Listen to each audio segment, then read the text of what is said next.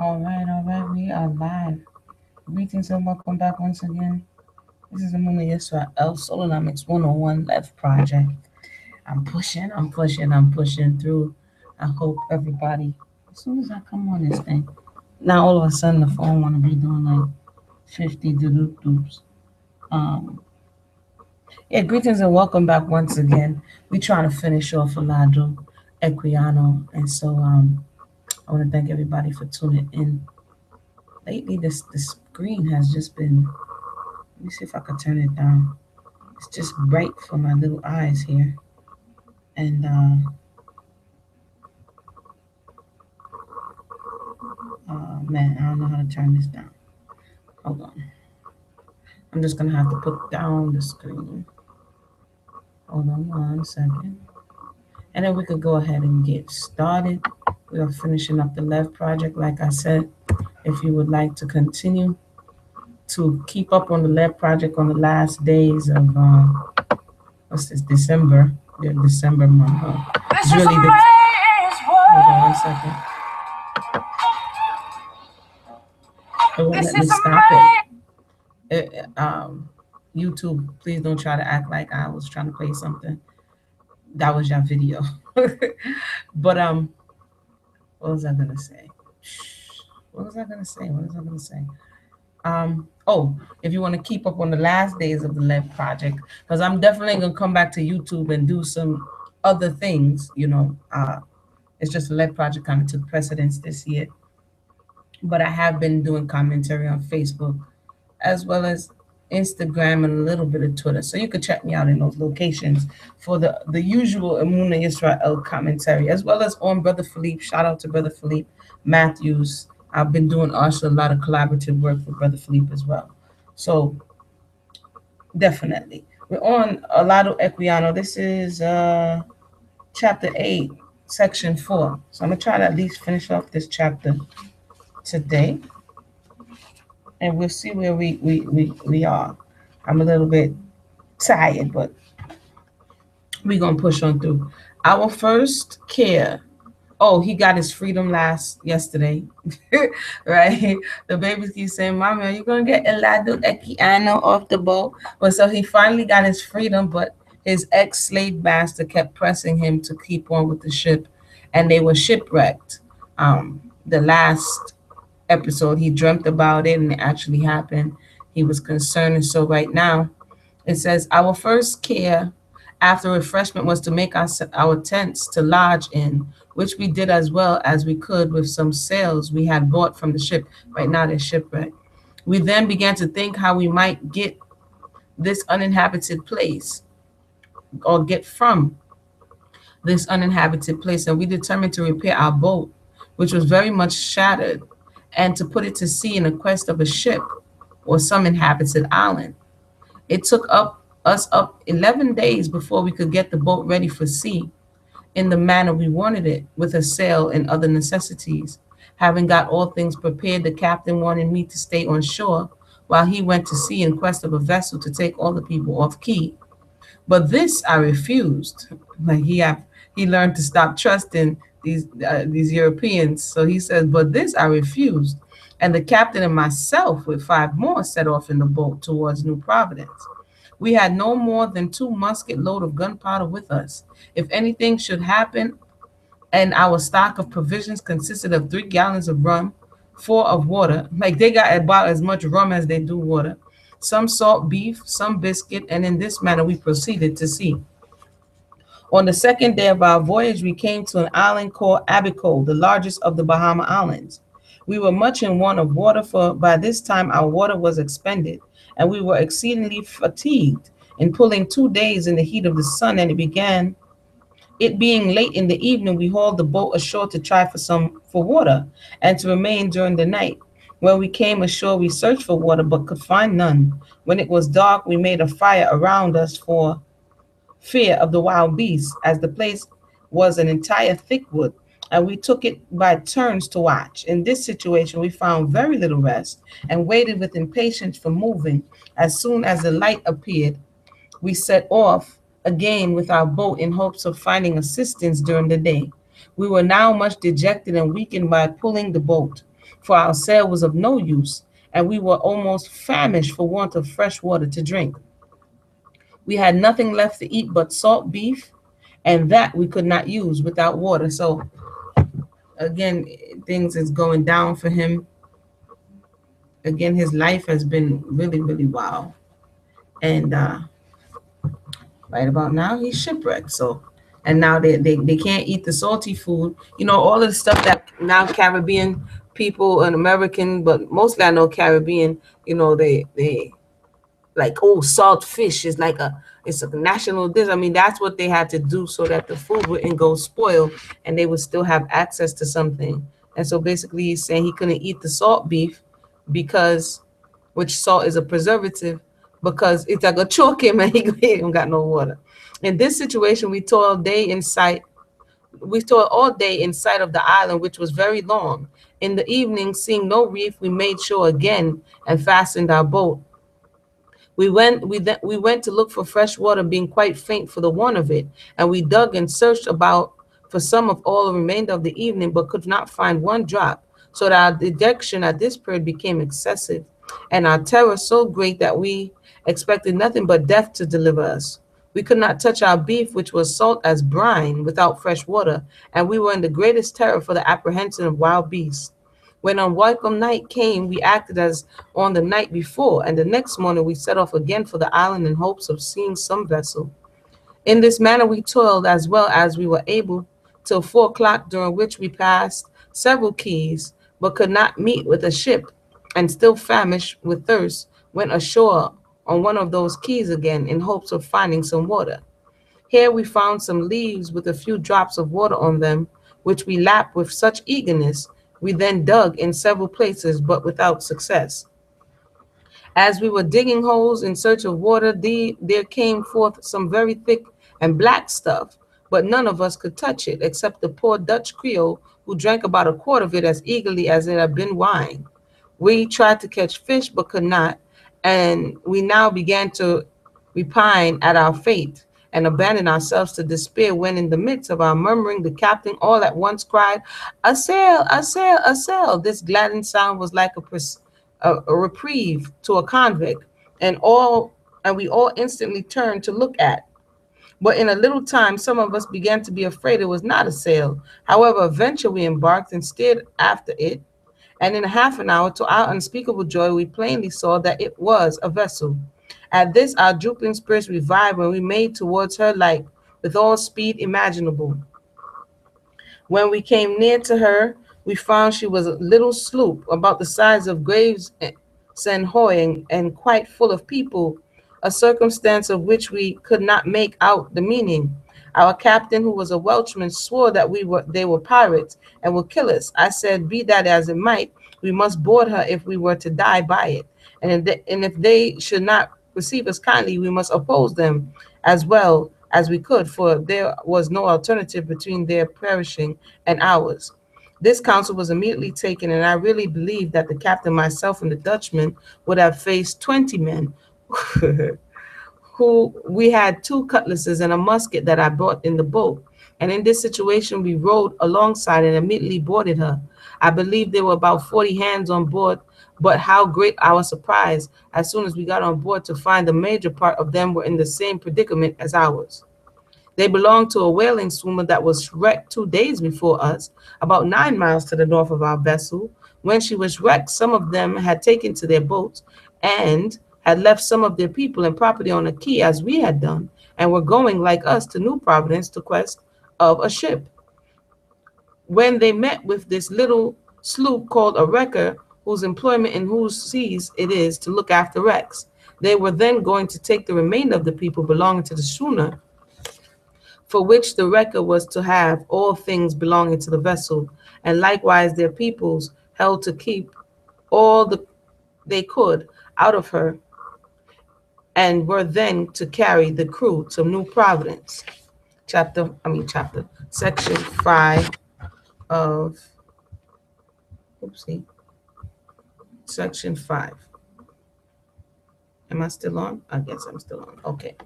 We, Olaudah Equiano, chapter 8, section 5. We told the people of the record the condition of our vessel, and we made the same agreement with them as the schooner people had done. And on their complying, we begged them to go to our key directly, because our people were in want of water. They agreed, therefore, to go along with us first, and in two days we arrived at the quay, to the inexpressible joy of the people that we had left behind, as they had been reduced to great extremities for want of water in our absence. Luckily for us, the wrecker had now more people on board than she could carry our victual for any moderate length of time. They therefore hired the soonest people to work on the wreck, and we left them our boat and embarked for New Providence. Nothing could have been more fortunate than our meeting with this wrecker, for New Providence was at such a distance we never could have reached it in our boat. The island of Abaco was much longer than we expected, and it was not till after sailing for three or four days that we got safe to further end of it. Towards New Providence, we arrived there we watered and got a good many lobsters and other shellfish, which proved a great relief to us as our provisions and water were almost exhausted. We then proceeded on our journey, but the day after we left the island and late in the evening, while we were yet amongst the Bahama Key, we were overtaken by a violent gale of wind, which obliged us to cut away the mast. The vessel was near pondering, for she parted from her anchors and struck several times on the shoals.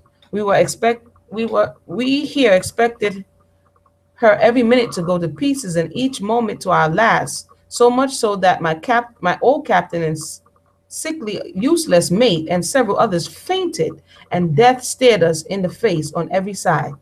All the swearers on board now began to call on the God of heaven to assist them. And sure enough, beyond our comprehension, he did assist us, and in a miracle manner delivered us. In the very height of our extremity, the wind lulled for a few minutes, and although the swell was high, beyond expression, two men who were expert swimmers attempted to go to the buoy of the anchor, which we still saw in the water at some distance, in a little punt that belonged to the wrecker, which was not large enough to carry more than two. She filled at different times in their endeavor, sorry, yeah, filled at different times in their endeavor to get into her alongside of our vessel, and nothing but death appeared before them and us. But however, they, they said they might as well die that way as any other. A coil of very small rope with a little boy was put in along with them, and at last they got the punt clear from the vessel. And these two intrepid water heroes paddled away for life towards the buoy of the anchor. Our eyes were fixed on them all the time, expecting every minute to be their last, and the prayers of all those that remained in their senses were offered up to God on their behalf for a speedy delivery, and for our own which depend on them. And he heard and answered us. These two men at last reached the buoy, and having fastened the putt to it, they tied one end of their rope to the small buoy that they had in the punt, the punt and sent it adrift towards the vessel. We on board observing this threw out boat hooks and leads fastened to lines in order to catch the buoy. At last we caught it and fastened a, a hawser to the end of the small rope. We then gave them a sign to pull, and they pulled the lobster to them and fastened it to the buoy, which being done, we hauled for our lives. And through the mercy of God, we got a gain from the shoal to, into deep waters, and the punt got safe to the vessel. I guess this is all sailor talk because I'm like, okay. it sounds like you, you did what you were looking to do. It is important for anyone, for any to convince, sorry, it is imp impossible for any to conceive our heartfelt joy at this deliverance from ruin, but those who have suffered the same hardship, those whose strength and senses were gone, came to them senses, sorry, came to themselves and were now at, as elated as they were before depressed. Two days after this, the wind ceased and the water became smooth. The punt then went on shore and we cut down some trees and having found our mast and mended it, we brought it on board and fixed it up. As soon as we had done this, we got on up the anchor and away we went once more for New Providence, which is three days more we reached safe after having been about three weeks in situation from which we did not expect to escape with life. Section six. The inhabitants here were very glad, uh, sorry, we're very glad. The inhabitants here were very kind to us, and having learned our situation, they showed us a great deal of hospitality and friendship. Soon after this, every one of my old fellow sufferers that were free parted from us and shaped their course as inclination led. One merchant who had a large sloop, seeing our condition and knowing we wanted to go to Georgia, told four of us that his vessel was going there and offered us our free passage, our passage free on condition of helping to load and work the vessel. As we could not get any wages and found it very hard to get off the place, we consented to his proposal and went on board and helped to load the sloop. Although we had only our victuals allowed us, when entirely loaded, he told us she was going to Jamaica first, where we must go if we went in her. This, however, I refused because he know every time he end up on an island, he end up being a slave. so he's like, yo, now I'm not trying to go to no Jamaica. I'm trying to get to the, you know. But the the thing is that free men also were captured as slaves in America, but it seems like he has a, a great aversion to the islands, uh, and he prefers the European over his own, as well as um, Europe, because this is where he's ultimately trying to get back to. Like I said before, I sense a lot of what people like to say Stockholm syndrome or trauma bonding as it relates to Olaudah and the European. But let's go on. This, however, I refused, but my fellow sufferers, not having any money to help themselves with, were obliged by necessity to accept of the offer and to stay the course, though they did not like it. We stayed in New Providence about 17 or 18 days, during which time I met with many friends who gave me encouragement to stay there with them. But I declined it. Though had not my heart been fixed on England, I should have stayed, as I liked the place extremely, and there were some free blacks here who were very happy, and we passed our time pleasantly together, with the melodious sound of catguts under the lime and lemon trees. At length, Captain Phillips hired a sloop to carry him and some of the slaves that he could not sell here to Georgia, and I agreed to go with him in the vessel, meaning now to take my farewell of that place. When the vessel was ready, we all embarked, and I took my leave of New Providence, not without regret. We sailed about four o'clock in the morning with a fair wind for Georgia, and about 11 o'clock the same morning, a sudden and short gale sprung up and blew away most of our sails. And as we were still among the keys in a very few minutes, it dashed the sloop against the rocks. Like he having a real hard time. Luckily for us, the water was deep and the sea was not so angry. But that after having for some time labored hard and being many in number, we were saved through God's mercy and by us, by using our greatest exert, exertions, we got the vessel off. The next day, we returned to Providence, where we soon got her again refitted. Some of the people swore that we had spells set upon us by somebody in Montserrat, and others said that we had witches and wizards among the poor helpless slaves, and that we never should arrive safe at Georgia. But these things did not deter me. I said, Let us again face the winds and seas and swear not but trust to God that he will deliver us. Like they can't get to their location. We therefore once more set sail and with labor or hard labor in seven days' time arrived at safe at Georgia. After our, our arrival, we went up to the town of Savannah, and the same evening I met to a friend's house to lodge, whose name was Mosa. Oh, he the first time like this. If this is not the first time I remember him actually giving the name of a melanated person. I went to a friend's house to lodge whose name was Mosa, a black man. We were very happy at meeting each other, and after supper, we had light until between 9 and 10 o'clock at night. About that time, the watch or patrol came by, and discerning a light in the house, they knocked at the door. We opened it, and they came in and sat down and drank some punch with us. They also begged some limes of me, as they understood I had some, which I readily gave them. A little after this, they told me I must go to the watch house with them. This surprised me a good deal after our kindness to them, and I asked them, why so? They said that all Negroes who had a light in their house after nine o'clock were to be taken into custody and either pay some dollars or be flogged. Did you hear that, Law? If you had a light in your house after nine o'clock, you were supposed to be taken into custody or flogged. Some of the so the dude asked him, he come in, drink their food, ask him for some lines, and then tell him, pay me or I'm gonna beat you, basically. Olaudah Equiano, this is chapter, what's this, eight, section six. Some of these people knew that I was a free man, but as the man of the house was not free and had his master to protect him, they did not take the li same liberty with him they did with me. I told them that I was free man and just arrived from Providence, that we were not making any noise, and that I was not a stranger in that place, but was very well known there. Besides, said I, what will you do with me? That you shall see me. That that you shall see, replied they. But you must go to the watch house with us. So it's like some Bogart system. You know, you have your freedom, but what really are you going to do with it when the whole system is a matrix meant to enslave you once again?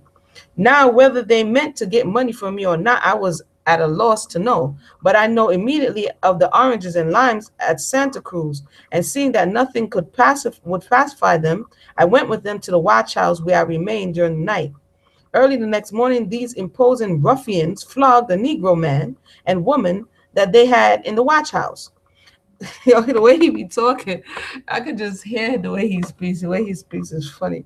He says, These ruffians flogged the Negro man. And then they told me that I must be flogged too. I asked why, and if there was no law for freemen. And he told and told them if there was, I would have it put in force against them.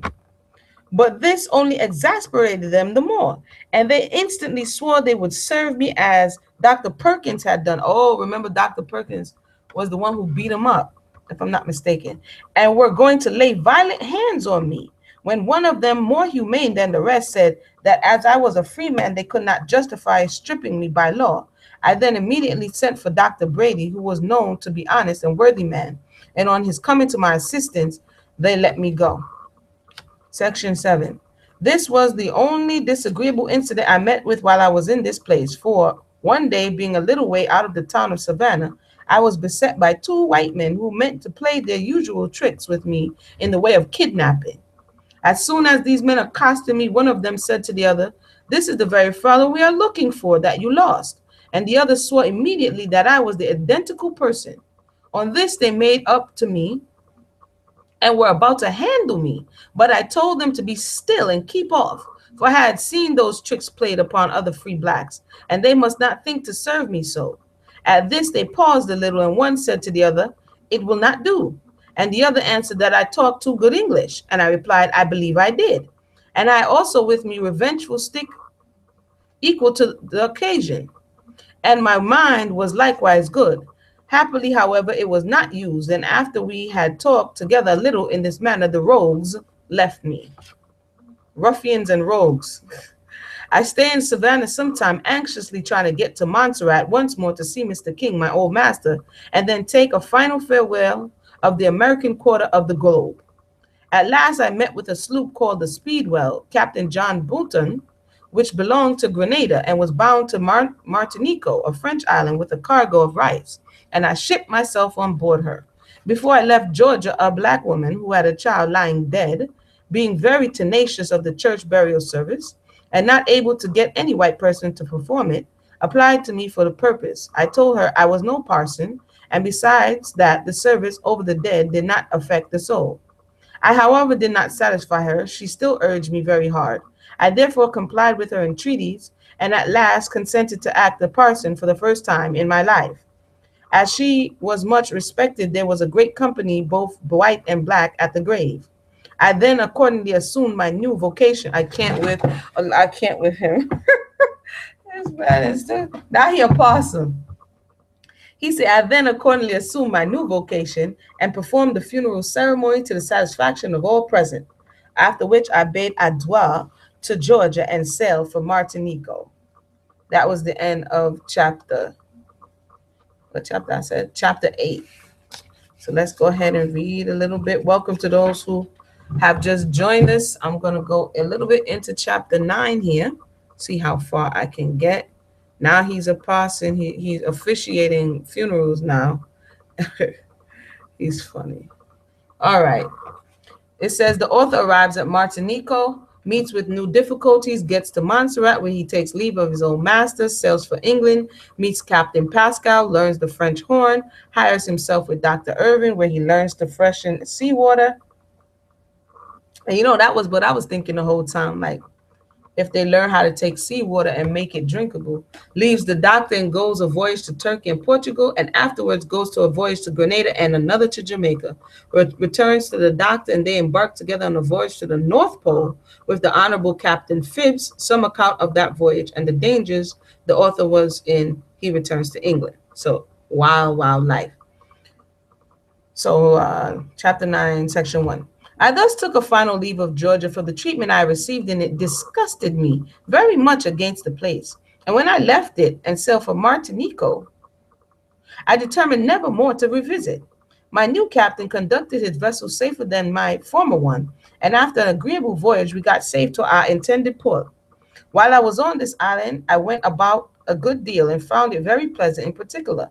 I admired the sound of St. Pierre, which is the principal one of the island and built more like a European town than any I had seen in the West Indies.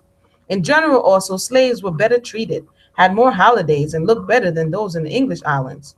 After we had done our business here, I wanted my discharge, which was necess- necess- necessary, for it was then the month of May. And I wished to be at Montserrat to bid farewell to Mr. King and all of my other friends there, in time to sail for old England in the July fleet. But alas, I had put a great stumbling block in my own way by which I was near losing my passage that season to England. I had lent my captain some money which I now wanted to enable me to prosecute my intentions. This I told him, but when I applied for it, though I urged the necessity of my occasion, I met with so much shuffling from him that I began at last to be afraid of losing my money, as I could not recover it by law. For I have already mentioned that throughout the West Indies, no black man's testimony is admitted on any occasion against any white person, whatever. That was in America as well. And therefore, my oath would have been of no use. I was obliged, therefore, to remain with him till he might be disposed to return it to me. Thus, we sailed for Martinique from, from the Grenadines. I frequently pressed the captain for my money to no purpose, and to render my condition worse, when we got there, the captain and his other owners quarreled, so that my situation became daily more irksome. For besides that, we on board had little or no victuals allowed us and I couldn't not get my money, not wages, nor wages. I could then have gotten my passage free to Montserrat had I been able to accept it. The worst of all was that it was growing late in July, and the ships in the islands must sail by the 26th of that month. At last, however, with a great many entries, I got my money from the captain and took the first vessel I could meet with for Saint Eustatia, for whence I went to another Basse-Terre to sit in St. Kitts, where I arrived on the 19th of July. On the 22nd, having met with a vessel bound to Montserrat, I wanted to go in her, but the captain and others would not take me on board until I should advertise myself and give notice of my going of the island, off the island. I told them of my haste to be in Montserrat and the time then would not admit of advertising it being e- late in the evening and the vessel about to sail. But he insisted it was necessary, and otherwise, he said he would not take me. This reduced me to great perplexity, for if I should be compelled to submit to the degrading necessity which every black freeman is under and advertising himself like a slave when he leaves an island, and which I thought a gross imposition upon any freeman, I feared I should miss that opportunity of going to Montserrat, and then I could not get to England that year.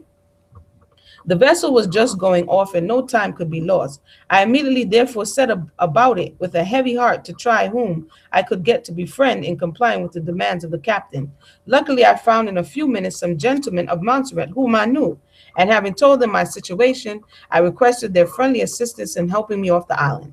Some of them on this went with me to captain and satisfied him of my freedom, and to my very great joy, he desired me to go on board. Section 2, Chapter 9.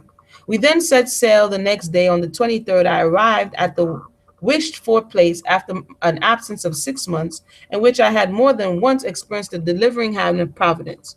When all human meanness of heart, which I which was increased by my absence and the dangers I had escaped, and I was received with great friendship by them all, but particularly by Mr. Doc, uh, Mr. King, to whom I related the fate of this his sloop, the Nancy and causes of her being wrecked. I now learn with extreme sorrow that his house was washed away during my absence by the bursting of the pond at the top of the mountain that was opposite the town of Plymouth. It swept great part of the town away, and Mr. King lost a great deal of property from the inundation and nearly his life. When I told him I intended to go to London that season and that I had come to visit him before my departure, the good man expressed a great deal of affection for me and sorrow that I should leave him, and warmly advised me to stay there. He's insisting, as I mu- as I was much respected by all the gentlemen in the place, that I might do very well, and in a short time have land and slaves of my own. For those who thought that freed men or freed women didn't have the thought of having slaves. Slaves were, you know, Europeans made it a color thing, but to have other people at your beck and call was a human thing that spanned the globe over the millennia um, of civilizations that are trying to come up off the backs of others, basically. He said, I declined remaining any longer there and begged he would excuse me. I then requested he would be kind enough to give me a certificate of my behavior while in his service, with which he very readily complied and gave me the following Montserrat, 26 of the seventh month of 1767. The bearer hereof, Gustavus Vassa, was my slave for upward of three years, during which he has always behaved himself well and discharged his duty with honesty and assiduity. That's like the reference letter, right? Robert King, to, to all whom this may concern. Having obtained this, I parted from my kind master after many sincere professions of gratitude and regard, and prepared for departure for London. I immediately agreed to go with one Captain John Hamer for seven guineas, the passage to London, on board a ship called the Andromache. What is this? Andromache. And on the 24th and 25th, I had free dances, as they are called, with some of my friends and countrymen previous to my settling or setting off. After which I took leave of all my friends, and on the 26th I embarked for London, exceedingly glad to see myself once more on board of a ship, and still more so in steering the course I had long wished for. So here you have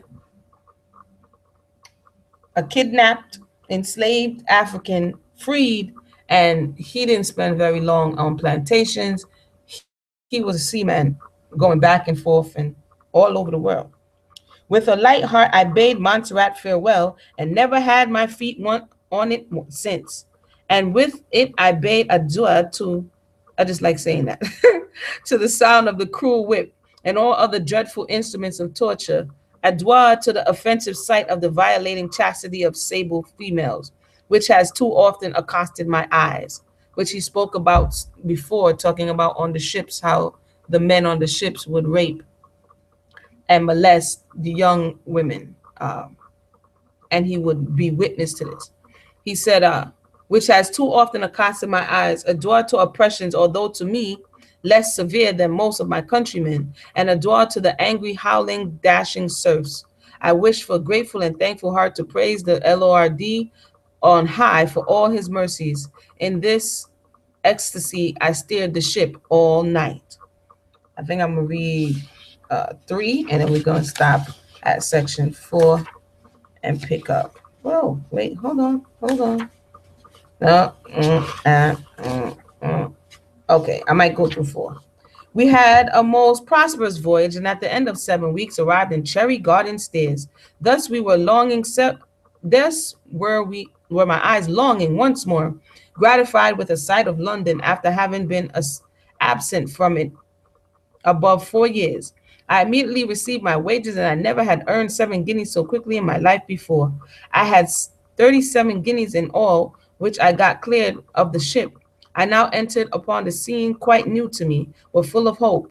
In this situation, my first thoughts were to look out for some of my for- former friends, and amongst the first of those was Miss Guerins.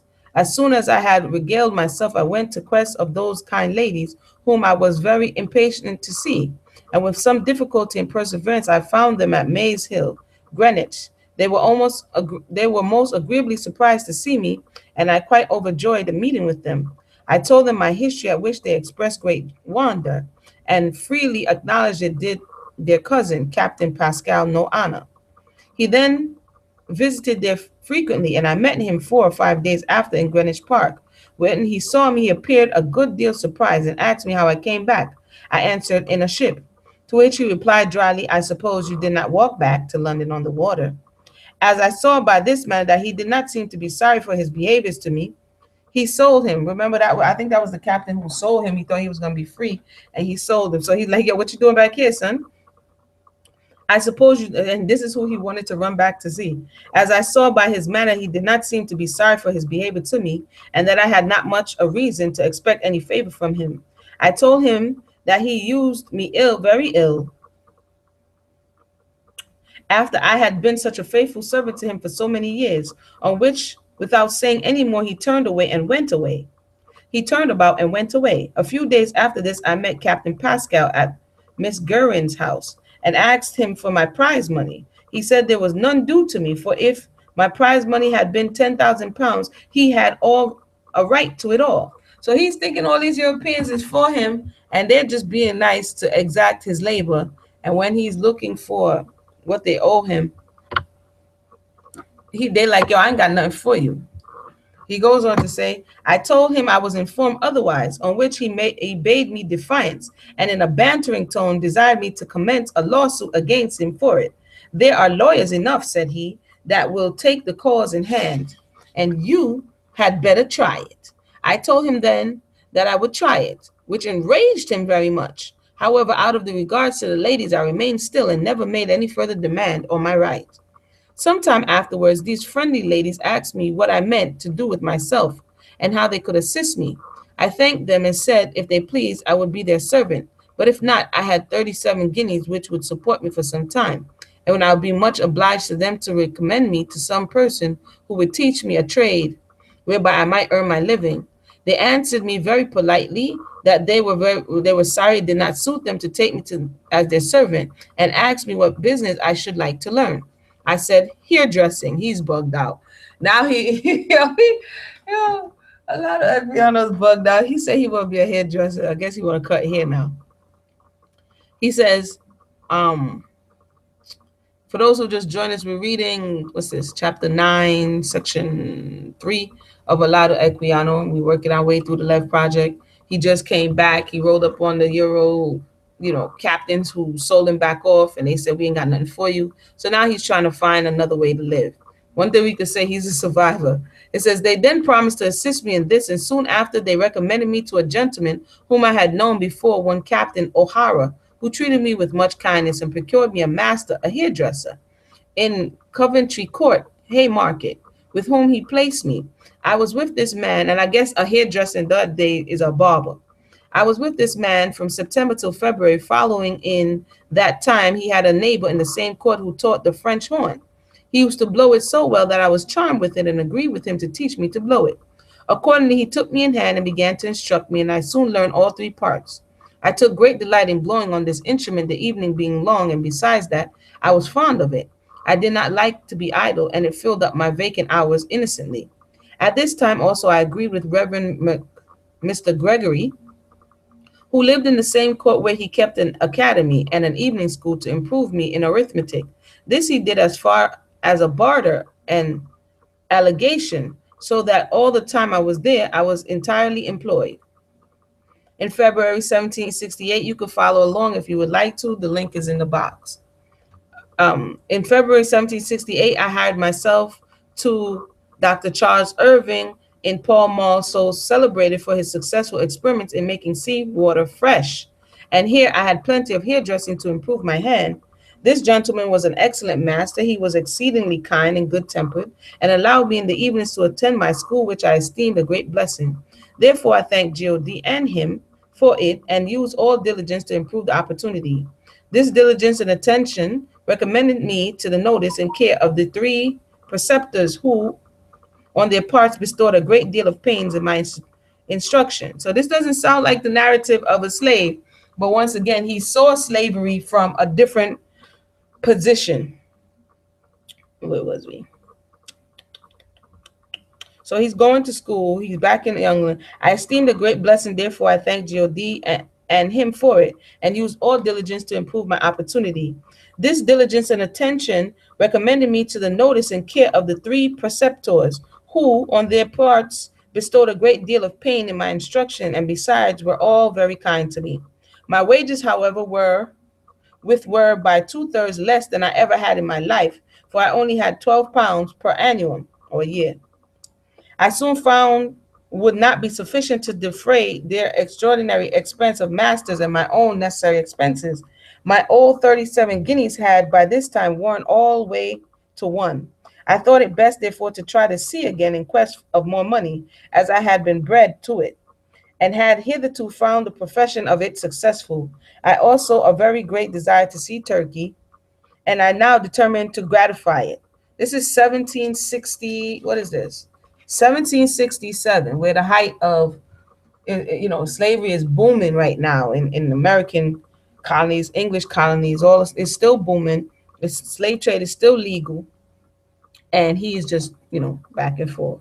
Accordingly in the month of may 1768 i told the doctor of my wish to go to sea again to which he made no opposition and we parted on friendly terms. The same day i went into the city in quest of a master i was extreme i was extremely fortunate in my inquiry for i soon heard of a gentleman who had a ship going to italy and turkey and he wanted a man who could dress hair well.